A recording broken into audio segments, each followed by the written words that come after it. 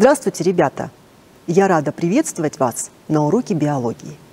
Тема нашего урока – химический состав клетки, органические и неорганические вещества клетки, биологические полимеры, белки, органические молекулы, углеводы.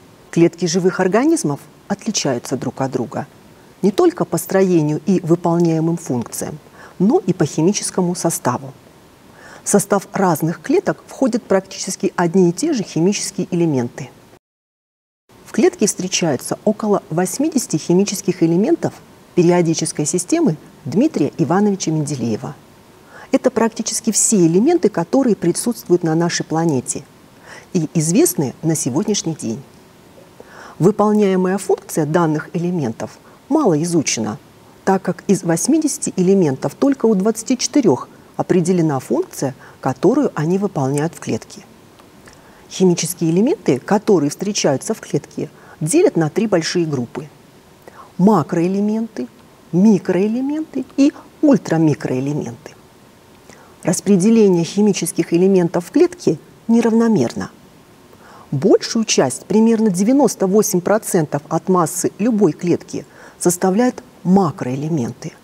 В первую очередь это кислород 75%, углерод 15%, водород 8%, азот 2%. Из этих элементов состоят молекулы органических веществ.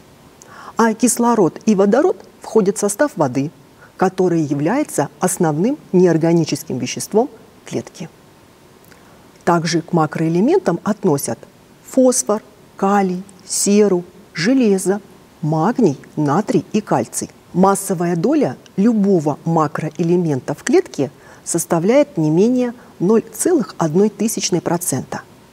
Химические элементы, на долю которых в клетке приходится от 1 тысячной до 1 миллионной процента, называют микроэлементами. Это цинк, йод, медь, марганец, фтор, кобальт, бром и другие. Процентное содержание в организме того или иного элемента – никоим образом не характеризует степень его важности и необходимости в организме. Например, кобальт входит в состав витамина В12, йод в состав гормонов тироксина и тиранина, а медь в состав ферментов, катализирующих окислительно-восстановительные процессы. На долю ультрамикроэлементов приходится менее 1 миллионной процента от массы клетка. К этой группе относятся радий, цезий, ртуть, уран, золото и другие. Все вещества клетки делят на две группы – неорганические и органические. Основным неорганическим веществом клетки является вода. Благодаря своим физико-химическим свойствам вода – это хороший растворитель, следовательно, является средой для протекания химических реакций в клетке – Благодаря полярности молекул вода легко растворяет ионные соединения – соли, кислоты, основания. Вещества, хорошо растворимые в воде, называют гидрофильными. Жиры, нуклеиновые кислоты и некоторые белки плохо растворяются в воде или не растворяются вообще. Такие вещества называют гидрофобными. Вода играет важную роль в жизнедеятельности организма благодаря своим свойствам. Благодаря высокой теплоемкости вода способна поглощать тепловую энергию при минимальном повышении собственной температуры. Выделение воды, транспирация у растений, потоотделение у животных предохраняет организм от перегревания. Обладая высокой теплопроводностью, вода способствует равномерному распределению тепла по организму. Практически не сжимаясь, вода создает тургорное давление, определяющее объем и упругость клеток. Благодаря образованию водородных связей между молекулами воды и молекулами других веществ вода обладает оптимальным для биологических систем значением – силы поверхностного натяжения, благодаря которой осуществляется капиллярный кровоток и движение растворов в растениях. Минеральные соли в клетке могут находиться в растворенном или нерастворенном состояниях. Растворимые соли диссоциируют на ионы. Наиболее важными катионами являются калий и натрий, которые отвечают за перенос веществ через клеточную мембрану и участвуют в возникновении и проведении нервного импульса. Кальций принимает участие в процессах сокращения мышечных волокон и свертывания крови. Нерастворимые соли кальция участвуют в формировании костей и зубов. Карбонат кальция в образовании раковин моллюсков, укреплении оболочек клеток некоторых видов растений. Магний входит в состав хлорофила. Железо входит в состав ряда белков, в том числе гемоглобина. Цинк входит в состав молекулы гормона поджелудочной железы – инсулина. Медь участвует в процессах фотосинтеза и дыхания. Важнейшими анионами являются фосфат-анион, входящий в состав АТФ и нуклеиновых кислот, и остаток угольной кислоты, регулирующий колебания pH среды. Органические вещества клетки представлены – углеводами, липидами, белками, нуклеиновыми кислотами, АТФ, витаминами и гормонами. Предлагаю поближе познакомиться с биологическими полимерами белками. Белки или полипептиды представляют собой высокомолекулярные органические соединения, состоящие из альфа-аминокислот, соединенных в цепочку пептидной связью – это самые важные органические компоненты клетки. На долю белков приходится от 50 до 80% массы клетки. Большинство белковых молекул включают от 300 до 500 мономеров. В природе существует несколько очень коротких белков, состоящих из 3-8 аминокислот. Известны и молекулы, длина которых более полутора тысяч аминокислот. Кроме кислорода, водорода, углерода и азота в состав белковых молекул могут входить железо, сера и фосфор. По строению и выполняемым функциям белки очень многообразны. К группе протеинов относят вещества, состоящие только из белка. В состав протеидов может входить и небелковая составляющая. Например, гемоглобин состоит из белка глобина и небелковой части гемы. Белки делятся на простые и сложные. Простые белки состоят только из аминокислот. В состав сложных белков могут входить гликопротеиды, углеводы, липопротеиды, которые включают жиры, и нуклеопротеиды, нуклеиновые кислоты. В организме человека насчитывается до 100 тысяч белков. Бактерии и растения сами синтезируют все необходимые аминокислоты. Животные, в том числе и человек, могут синтезировать лишь некоторые, а остальные аминокислоты, называемые незаменимыми, получают с пищей. К незаменимым относят аминокислоты лизин, валин, лейцин, изолейцин, трианин, филилаланин, триптофан, тирозин, метионин. В состав белков входят 20 различных аминокислот, различные комбинации которых приводят к огромному многообразию белков. Набор всех 20 видов аминокислот содержит только три белка – казеин молока, миозин мышц и альбумин яйца. Проведем простые математические вычисления. 20 аминокислот примем за буквы алфавита, из которых составим слово длинное в 500 букв. Используя 20 букв в различных комбинациях, можно составить огромное количество таких слов – учитывая, что замена или перестановка хотя бы одной буквы изменит смысл слова, вычислим число возможных комбинаций. оно будет равно 20 в 500 степени. Свое название аминокислоты получили за наличие в каждой из них аминогруппы, обладающей основными свойствами, и кислотной карбоксильной группы с кислотными свойствами. Каждая аминокислота включает химическую группировку – радикал, которая у разных аминокислот имеет разное строение. Такое строение аминокислот обуславливает их амфотерность и высокую реактивность. Аминогруппа одной аминокислоты соединяется с карбоксильной группой другой аминокислоты. При этом происходит отщепление молекулы воды и образование прочной ковалентной связи, называемой пептидной связью. В состав некоторых сложных белков, например, гемоглобина и инсулина, могут входить не одна, а несколько полипептидных цепочек. Молекулы белков могут принимать различные пространственные формы, конформации. Выделяют четыре уровня организации белковых молекул.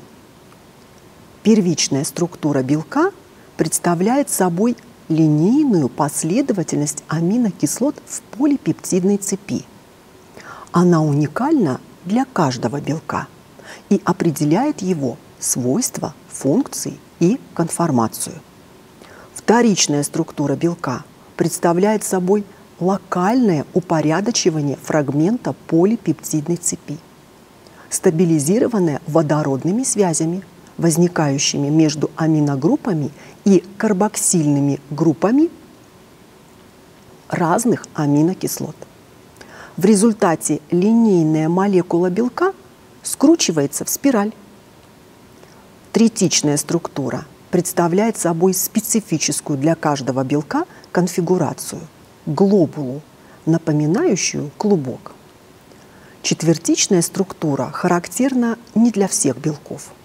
Она представляет собой сложный комплекс из нескольких глобул. Сложный белок – гемоглобин – представляет комплекс из четырех таких субъединиц. Под воздействием таких факторов, как температура, химические вещества, радиация, обезвоживание клетки, может произойти разрушение природной структуры белка или денатурация. Если при этом не нарушена первичная структура белка, то при устранении денатурирующих факторов белок способен восстановить свою структуру. Процесс восстановления называют ренатурацией. Рассмотрим функции белков.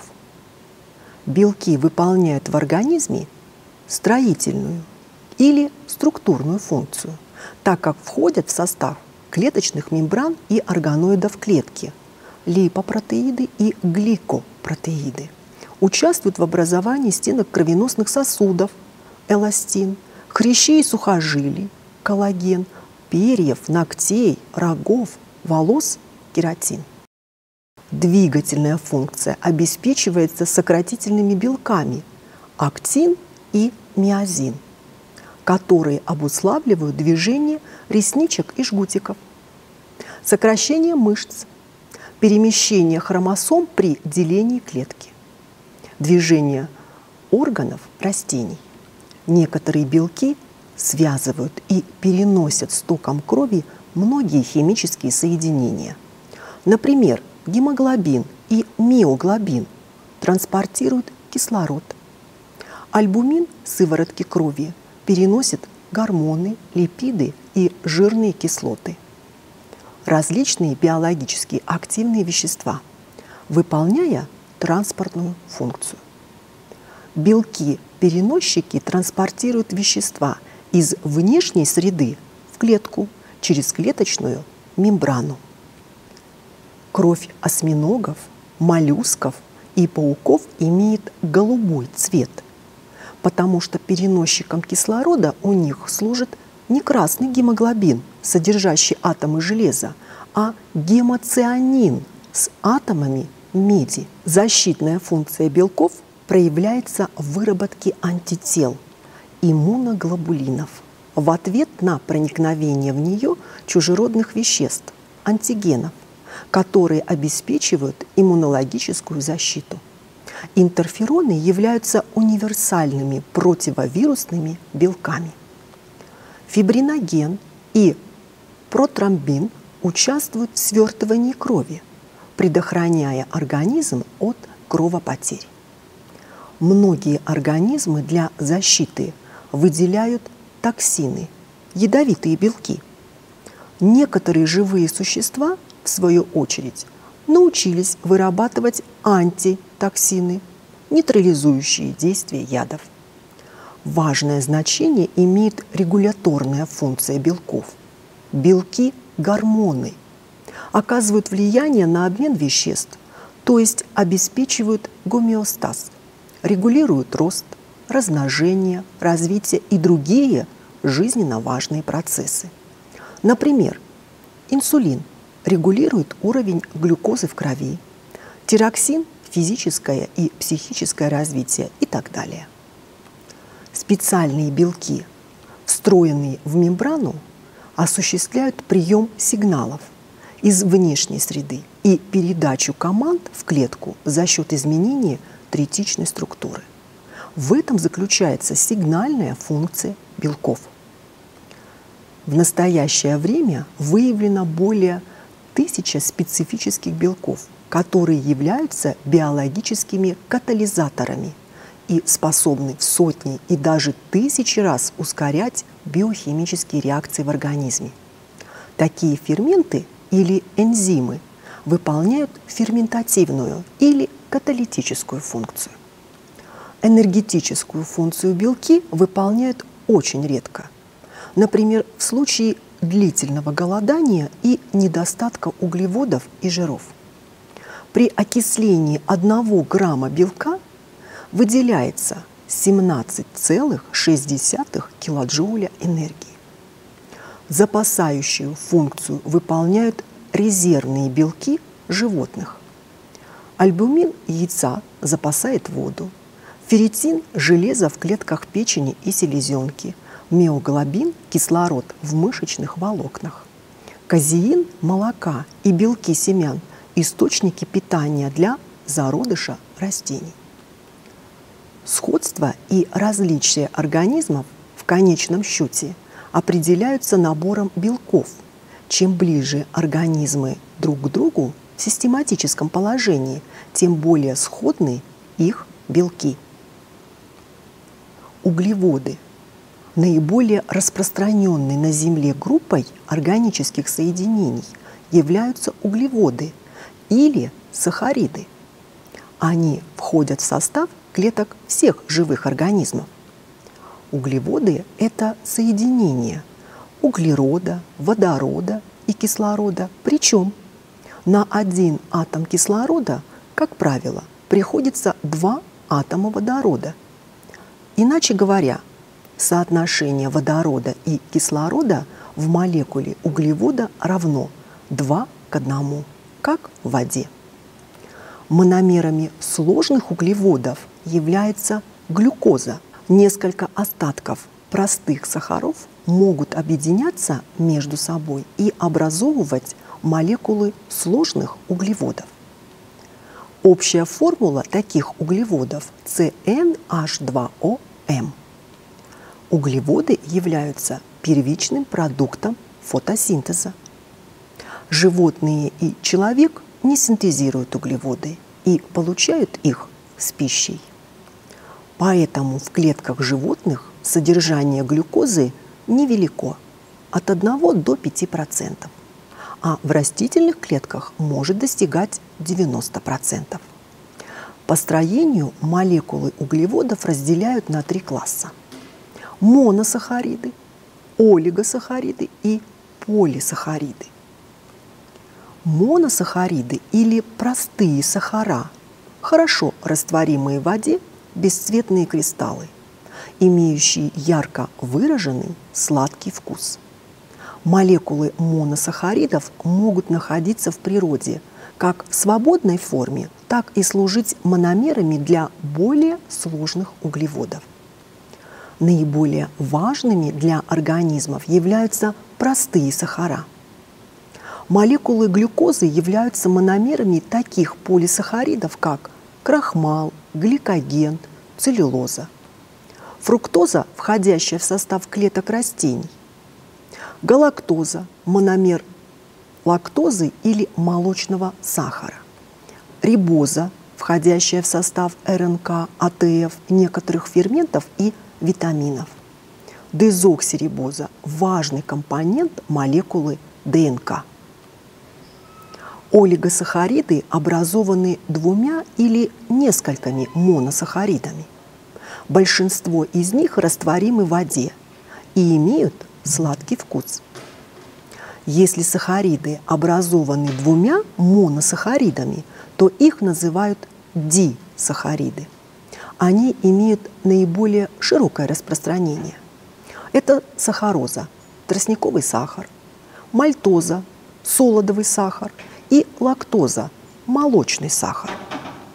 Полисахариды – высокомолекулярные соединения, содержат в составе своей молекулы – десятки и даже тысячи моносахаридных звеньев. Полисахаридами являются крахмал, гликоген, хитин, целлюлоза и другие.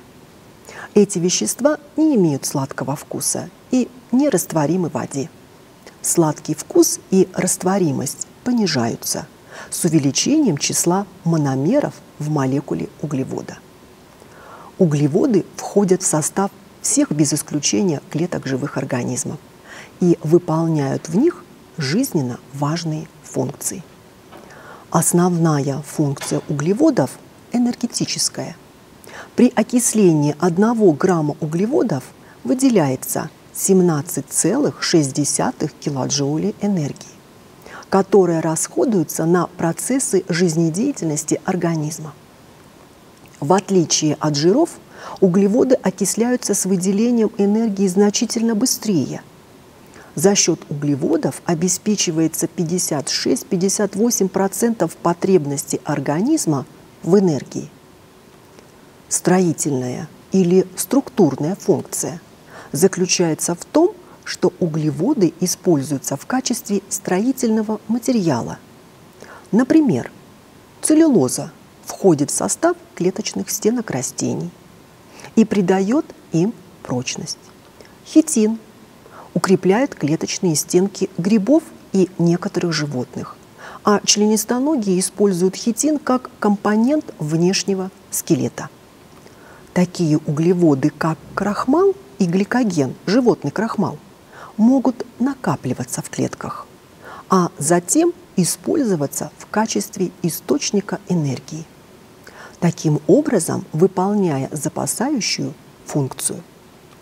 Углеводы, входящие в состав клеточных мембран, позволяют клеткам одного типа распознавать друг друга, выполняют сигнальную функцию.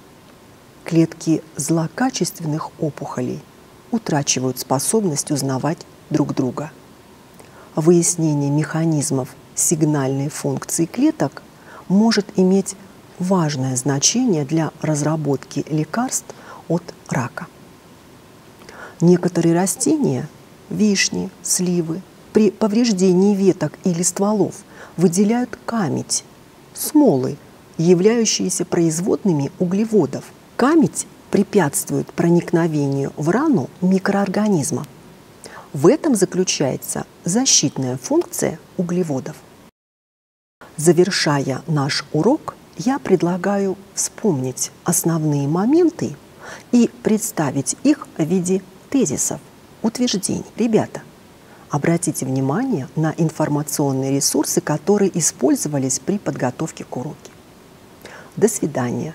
До новых встреч.